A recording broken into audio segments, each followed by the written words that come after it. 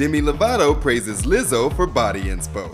Liam drags Zayn into the Little Mix split news, and The Voice names a winner. Hey, it's Tetris, and these are your top stories for Wednesday, December 16th. Your body is perfectly yours, even if it ain't perfect to anybody else. Lizzo is giving us lots of body positive messages on IG after backlash for a recent diet. Celebrities are pouring in support, including SZA, who said, I love you so, and Demi Lovato, who hopped in the comments to say, Thank you for the inspiration we all needed today, you legend.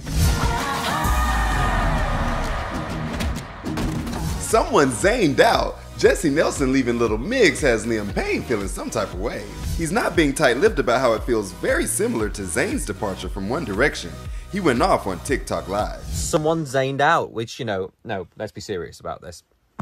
It's, um, it's always sad at this moment in time, isn't it, when bands get into that sort of thing? Jesy and Little Mix announced her departure from the group on Monday, citing mental health concerns in a series of IG posts and tweets.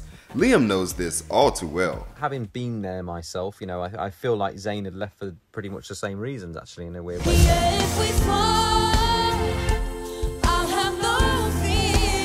and this season of The Voice has ended, and Jordan has the story.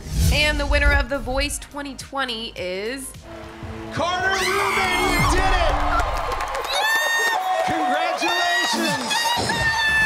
Teenage singer first blew viewers away in the blind auditions with a cover of Lewis Capaldi's Before You Go.